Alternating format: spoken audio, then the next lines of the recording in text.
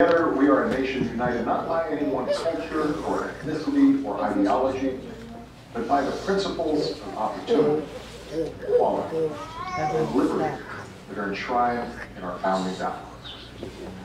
Today marks a very special day in your life. You've traveled a long path to get here.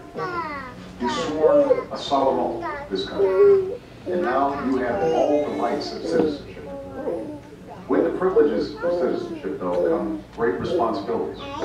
And so I ask that you use your freedoms and your talents to contribute to the good of our nation and the world. Always remember that in America, no dream is impossible.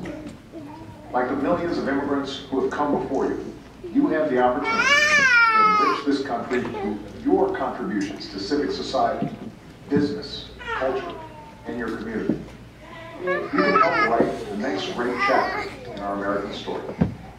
And together we can keep the beacon that is America burning bright for all the world to see. I am proud to welcome you, a new citizen of this country. May God bless you, and may God continue to bless the United.